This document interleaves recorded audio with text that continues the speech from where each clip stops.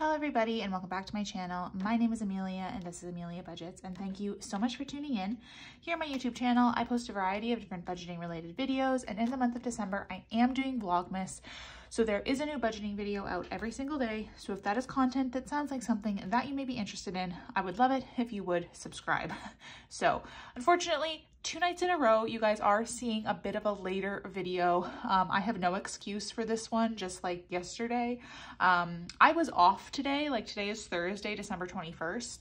Uh, I wasn't working, so I genuinely could have filmed this video all day, and yet it is not being filmed until 7.30 at night. So hopefully, again, this goes out sometime on the 21st. Probably, like I want to say, like probably around like 9, 30, 10 o'clock 11, I don't know. It should go up on the 21st. But today what I'm going to, going to do is my weekly spending check-in for the 15th to the 21st. So it's a very live video. Um, I do these weekly spending check-in videos or what I spend in a week every single week just to try to keep myself as on top of my spending as I can. Um, I'm not a cash budgeter. I use my debit card for everything. So I try to make sure to film these sorts of videos on a weekly basis to make sure I know what I'm spending. So basically my plan is to do this video today. I'll set up my paycheck for January, like um, I'll set up January paycheck number one tomorrow um, because that's a video that would essentially be going out during my break of Vlogmas. There'll be a goals video and I'll close out for my Christmas budget and that's going to be it. So I really only have a few days left of Vlogmas and I don't know why I'm struggling so much because I only have a few more days and then I can say I did Vlogmas two years in a row. But yeah, it's just, it's been a struggle the last couple days. So let's flip over to the next page and I'll walk you through my transactions for the week. So the first transaction that I had was actually not until the 18th. So if you guys remember, I was away from like Thursday through Sunday. So I didn't have any transactions or any purchases on Thursday, Friday, Saturday. On Sunday though, actually I think this might be Monday, but I think it was supposed to be on Sunday, but it doesn't really matter. On Sunday in the miscellaneous category, um, I went at Costco, I spent $43 on some more of that protein milk that I was talking to you about. It is honestly so good to have like one of those protein milks and a shot of espresso and it's just delicious. I don't have like an espresso machine or anything, so I just make instant espresso you could go to like Starbucks or Tim Hortons or whatever and get espresso if you don't have an espresso machine. But honestly, like I don't necessarily know if it's any better. I might end up going tomorrow to Starbucks and getting myself a shot of espresso on ice and then adding a protein milk to it. But I also might sort of treat that as like a treat because honestly, having the instant espresso at home tastes perfectly fine and it's very tasty. So I got another case of that. Honestly, I'm kicking myself that I didn't buy two more cases because I should have bought one more case of chocolate and one more case of vanilla. I just bought one more case of vanilla. So right now I have two cases of chocolate or two cases of vanilla and only one case of chocolate. So ultimately, if someone happens to go to Starbucks, or not to Starbucks, to Costco and sees the protein milk and they offer to buy it for me, I will take them up on that, especially if it's chocolate. So $43 on the Fairlife protein milk. And again, I did classify that as a miscellaneous expense because it doesn't work into my grocery budget for the week. So that's what I did there. The next transaction that I had was on the 18th. Yeah, so this was definitely on the 17th. I wrote that down wrong, but that's okay. This was an e-transfer, which is why, like it wasn't actually like a statement on my debit card. So that's why it's a little bit off. Um, I just e-transferred my friend who bought me some more. So anyways, but on the 18th in the miscellaneous category, I did go to Rexall and I spent $4.58. I was at Rexall to get my flu shot and my next COVID shot. And you can get that at the same time, which I was very surprised at. So I did that. And while I was there, you had to wait 10 minutes after the shot just because the um, pharmacist wanted me to stick around, I guess. So while I was there, I was wandering around the store and they had like Essie nail polish, like the expensive stuff that's like 15 or 16.99 a bottle. And they had certain colors that were on sale and they had a really, really pretty pink color. I'm looking around on my desk to see if I have it on my desk, but I might have honestly already put it back into like where I keep all my nail polish. So anyways, that's where it is. Um, and it was only 4.58. So I got that. Then on the 18th as well, in the groceries category, I did go to the Asian grocery store um, nearby me and I spent $17.47 on dumplings. Um, the dumplings that I want, it's a crazy story. So when I first bought these dumplings, this is probably back in like November or October. I could go back and see like when I essentially bought them, but it was around that time. They were 5.50 like per bag. Then like, or they were 5.49 per bag. Then they went up in price and they became six um 629 per bag i believe is how much they went up in price for. So like that's not a big deal. And then more recently, they are now 7.49 per bag. And that's in the span of like I like one or two months. Like they went up in price like a lot in that time.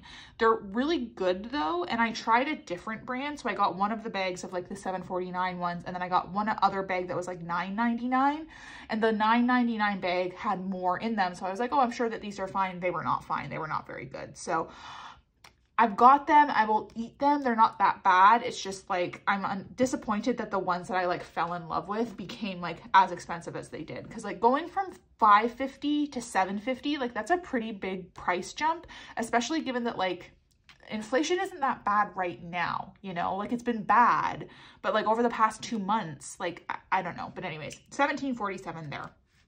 The next transaction that I had was on the 19th. This is in a dining out category. I did get sushi and that was $7.99.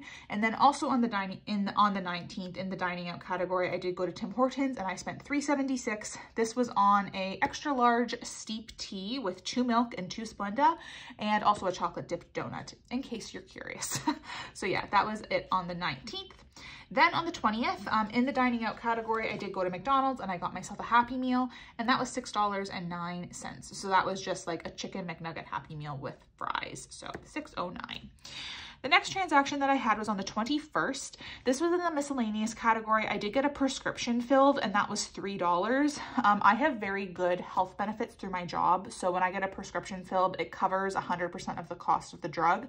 I just have to pay $3 as like, it's kind of like a copay for the, um, the, the pharmacy transaction fill fee, I guess it is. I I'm not fully sure, but basically I have a rash and I needed a cream for it. I didn't know it exactly what it was, but my mom had I had seen my mom on the weekend and she was like, you should go to the doctor. But my doctor is unfortunately retired. So I have to find a new family doctor.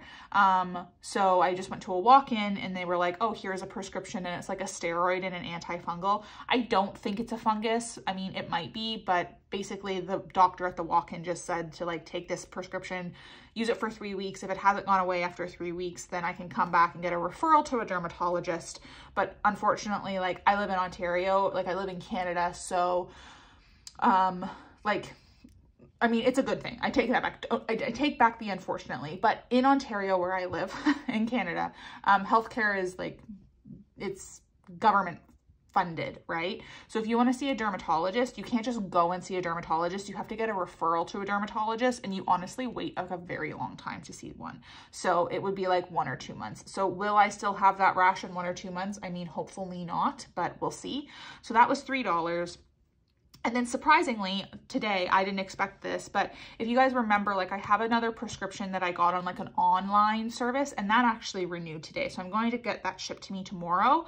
Uh, so that was another $3. So I haven't gotten that prescription yet, but it's being shipped to my house tomorrow. So $3 for that. Um, then on the, again, on the 21st, this is all transactions that I made today because I'm filming this on the 21st. Um, I did get groceries at Loblaws for $3.99. This was just a bag of frozen blueberries. And then on the 21st as well at Farm Boy, um, I did get some deli meat, which was 9.06. This was for 300 grams. So like, as I said, Farm Boy is actually a pretty decent place to get deli meat if you're located in Canada. Their regular prices are close to like the sale prices at Metro. So I got 300 grams of sliced turkey for 906. For reference, that's about two thirds of a pound for anybody located in the United States. So there's 454 grams per pound, and this was for 300 grams. So approximately two thirds of a pound, and that was 906. So again, pretty expensive, but that's the price of deli meat in Canada.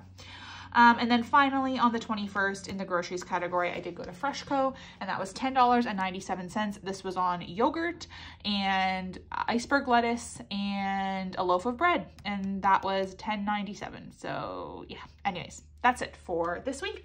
So this actually wasn't too bad. So let's flip back over to the other page and I'll go over my totals. My calculator or slash phone is 100% dying. So I have to charge that for sure tonight if I don't, if I want to film another video with it tomorrow. And I also like wrote down all of these transactions with like my Sharpie S-Gel pen and I can't see it anywhere. So I don't know where I put it in the like two seconds that it took me to like put my phone on like the camera stand, but I have to use a different pen and it's fine. It's just whatever. In total, in the groceries category for the week, I spent $41 and 49 cents. So at the end of last week, I had 119.27. I spent 41.49, leaving me with 77.75 in groceries, which is awesome. This last week, the 22nd to the 28th, I'm going back to my parents' house on the 23rd or 24th. And then I think I'm coming back to my apartment on the 28th. So I don't think I'll be spending a ton of money on groceries, but we'll have to see. I'll probably end up getting groceries on Friday, um, like tomorrow, potentially on Saturday. I don't, I don't know. We'll see. But 77, 75 is should be more than enough for the last week of the month. Um, dining out in total this week, I actually only spent $17.84, which is great. At the end of last week, I had $145.35. I spent $17.84, leaving me with $127.53. I'm super happy to have that much money going into the last week. We don't often go out like around Christmas, but like if I end up going out for breakfast with my parents or something, like I like that I'm going to be able to treat with that because I have more than enough money to do that. So that's awesome. Um, gas, I didn't spend anything this week, so that's still at zero. So again, I had $71 left at the end of last week, so I still have $71 in gas.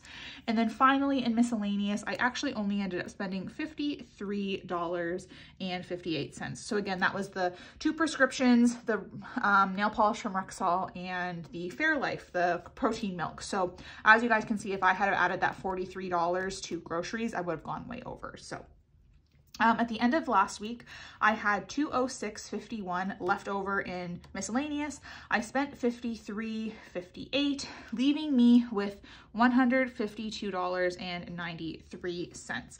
And this is truthfully the only category that I'm a little bit worried that I might go over in.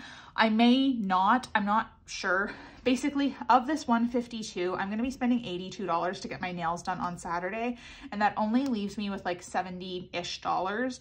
Um, as of right now i'm not planning on going boxing day shopping but if i happen to go boxing day shopping like i don't think that $70 is necessarily going to be enough but hopefully with like all my other categories it all works out. So yeah Anyways, if you add all of these categories up, it's a total spend for the week of $112.91, which is far lower than like my actual typical like what I budget for to spend in a week.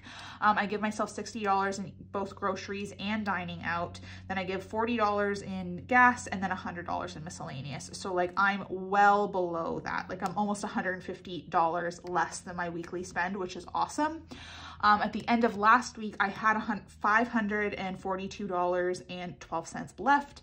And because I spent the 112.91, it means I have, that number is incorrect. I think I did 97, so I'm six cents off. So I have $429.21 left over for this last week of the month. And again, even if I end up going a little bit over in miscellaneous, I'm sure that $400 is going to be fine. And hopefully I have even more than that left over because Christmas is not looking super good right now, but that's okay. You guys will see that probably on Sunday or maybe on Monday, but yeah. Anyways, that is it for today. Thank you again, you guys, so much for tuning in. Again, my name is Amelia, and this is Amelia Budgets. I apologize for the late video, but you're still getting a video, so that's good. um, as I mentioned, my next video should be up tomorrow, and that will be my January paycheck number one budget setup, because that video, again, would have normally been posted on like December the 29th, but I'm not going to be filming that whole week um, after Christmas. So yeah, have an amazing day, everybody, and I will talk to you again tomorrow. Goodbye.